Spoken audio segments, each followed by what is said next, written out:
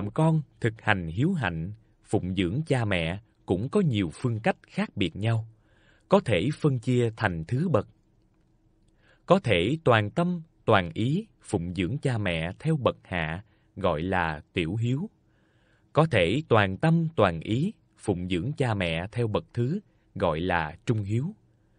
Có thể toàn tâm, toàn ý phụng dưỡng cha mẹ theo bậc thượng, gọi là đại hiếu. Chỉ riêng những ai có thể toàn tâm toàn ý phụng dưỡng cha mẹ theo bậc tối thượng mới được gọi là bậc đại hiếu trong hàng đại hiếu. Như vậy có nghĩa là thế nào? Phụng dưỡng cha mẹ theo bậc hạ, đó là nói chỉ phụng dưỡng cha mẹ đầy đủ cơm ăn áo mặc, miếng ngon vật lạ, không để cha mẹ phải có bất cứ điều chi than phiền. Đó cũng là điều mà người thế gian không dễ làm được, gọi là tiểu hiếu. Phụng dưỡng cha mẹ theo bậc thứ, đó là nói, ngoài việc phụng dưỡng đầy đủ cơm ăn áo mặc, còn quan tâm đến chí hướng của cha mẹ. Những gì cha mẹ yêu thích, mình cũng yêu thích. Những gì cha mẹ kính trọng, mình cũng kính trọng, khiến cho cha mẹ luôn được vui lòng. Như thế gọi là trung hiếu. Phụng dưỡng cha mẹ theo bậc thượng, đó là nói, ngoài những việc như trên, còn dẫn dắt, khuyến khích cha mẹ bước vào đường đạo, thấy cha mẹ làm thiện thì tán thành, thấy cha mẹ làm lỗi thì can ngăn, khiến cho lời nói, việc làm của cha mẹ đều hợp theo chánh đạo, như thế gọi là đại hiếu. Còn như việc phụng dưỡng cha mẹ theo bậc tối thượng, đó là sau khi đã làm được như trên, lại còn tiến thêm một bước nữa, thường luôn nghĩ nhớ đến công ơn cha mẹ lớn lao như trời đất, mà tuổi thọ của cha mẹ ngày một suy giảm, biết phải dùng phương pháp nào để có thể báo đáp. Dùng phương pháp nào để có thể kéo dài thêm tuổi thọ của cha mẹ?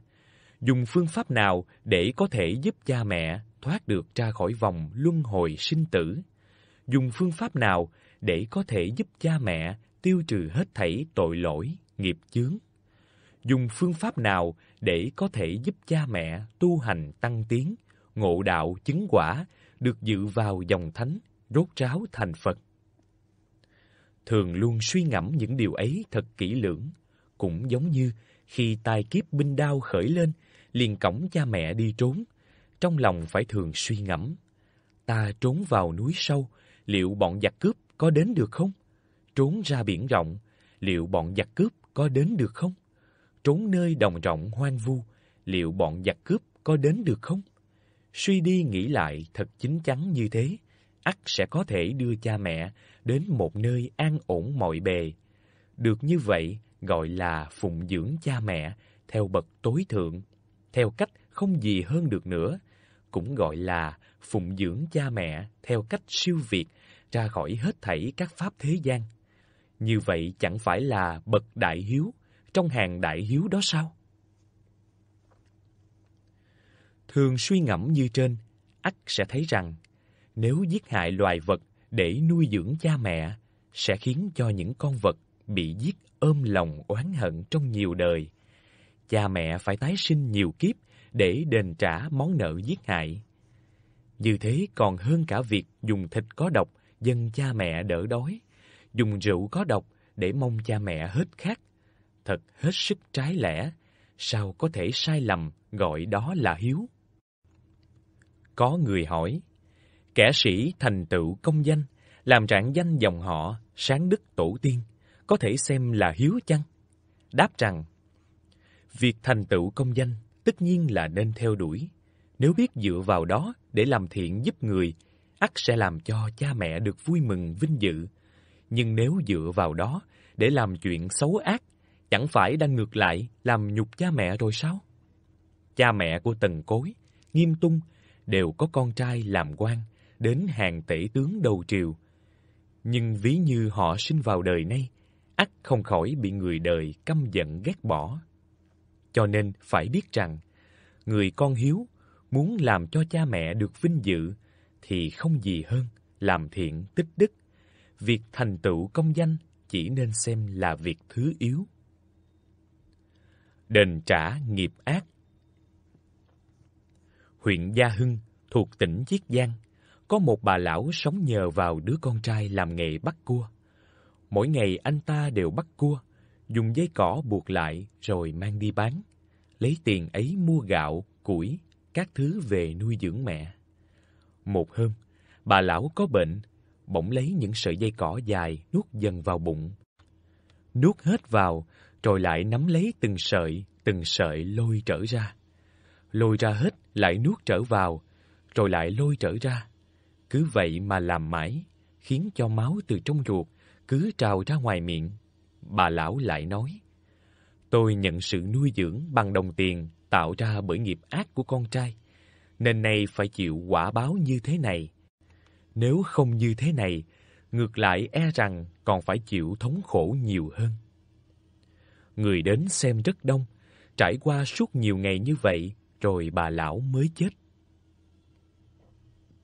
Lời bàn Thuở xưa, khi Đức Thế Tôn đang ở thành Vương Xá, nhìn thấy một con cá lớn có nhiều đầu, mỗi đầu đều khác biệt nhau, bị mắc vào trong lưới. Đức Thế Tôn thấy vậy, liền nhập tam muội, khởi tâm từ, rồi cất tiếng gọi cá. Cá lập tức lên tiếng đáp. Đức Thế Tôn hỏi nó, mẹ của ngươi hiện giờ ở đâu? Cá đáp, mẹ của con hiện đọa làm con trùng trong hố xí. Đức Phật liền dạy các tỳ kheo rằng, con cá lớn ấy vào thời Đức Phật Ca Diếp vốn là một vị tỳ kheo tinh thông tam tạng kinh điển. Do tạo nghiệp ác khẩu nên phải chịu quả báo dị dạng, một thân có nhiều đầu. Người mẹ của tỳ kheo ấy nhận sự nuôi dưỡng của ông ta. Do nghiệp duyên ấy nên nay phải làm con trùng trong hố xí. Quán xét việc ấy, ắt phải thấy rằng việc dùng đồng tiền tạo ra bởi nghiệp xấu ác để nuôi dưỡng cha mẹ đã không phải việc người con hiếu nên làm, huống chi lại quen theo thói tục mà giết hại vật mạng dâng lên cha mẹ. Nghiệp đời trước còn lại Vào đời nhà Thanh, có ông Cố Thuận Chi, quê ở huyện Thường Thục, là người ăn chay trường, ngụ cư ở huyện Vô Tích. Ngày mồng 1 tháng 2 năm Canh Tuất thuộc niên hiệu Khang Hy, ông nhắm mắt ngủ mê đến bảy ngày sau mới tỉnh lại, kể với người chung quanh rằng Tôi mơ thấy một vị đạo nhân đến hẹn tôi đi nghe kinh. Tôi cùng ông ấy đến một chỗ nọ, thấy ở pháp đường phía trước giảng kinh Kim Cang, pháp đường phía sau giảng kinh Báo Ân. Buổi giảng kết thúc lại nghe có lời dạy rằng người ăn chay phải kiên trì giữ tâm niệm Phật, người ăn mặn thì cốt yếu là phải giữ giới, không giết hại. Làm được như vậy, một là có thể cầu siêu thoát cho cha mẹ nhiều đời, hai là có thể tiêu trừ được tội lỗi nghiệp chướng của bản thân mình. Sau đó giây lát, bỗng nhìn thấy mẹ tôi đang khóc lóc ở trong một cái hồ chứa đầy máu.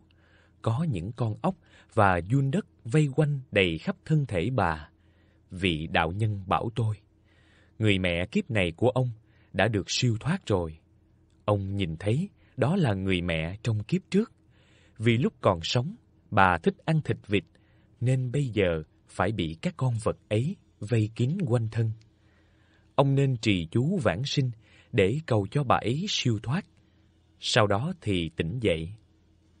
Lời bàn Người đời gọi là hiếu, bất quá chỉ là lo cho cha mẹ trong một đời hiện tại. Người tận hiếu theo pháp Phật thì rộng làm lợi ích cho cha mẹ trong cả nhiều đời. Vì thế nên gọi là hiếu hạnh lớn lao.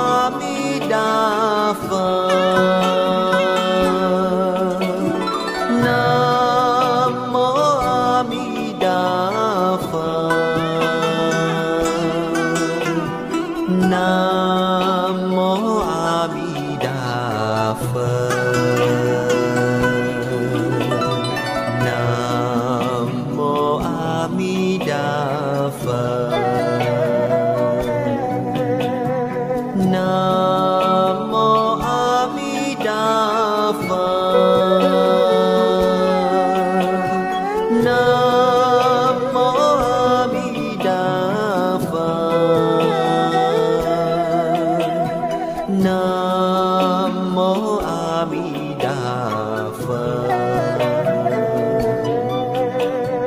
Nam mô a đà phật.